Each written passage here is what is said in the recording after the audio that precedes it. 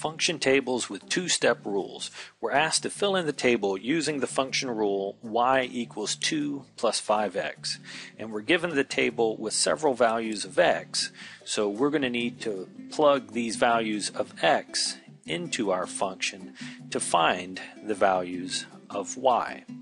So starting off with the 2, if we replace that in the function, I would have y equals 2 plus 5 times x is going to be 5 times 2 because we're replacing the x with the 2.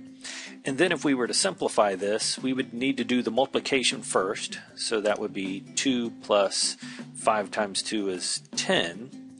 And 2 plus 10, that would give us 12. So when I plugged in the 2, I have a 12. And then we can move down to the other values of x. If I were to plug in the 5, that would be y equals 2 plus 5. This time I'm replacing the x with a 5. So again, doing the multiplication first, that's 2 plus 25, which is 27. That would be my y value here.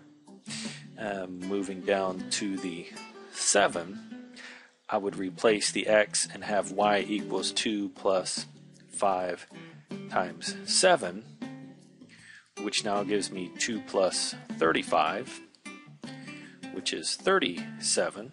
So my y value is 37.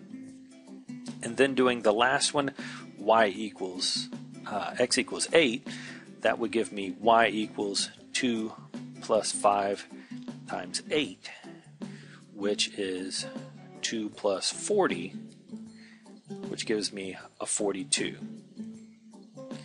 So we plugged in each one of those x values to see what would come out as a y value.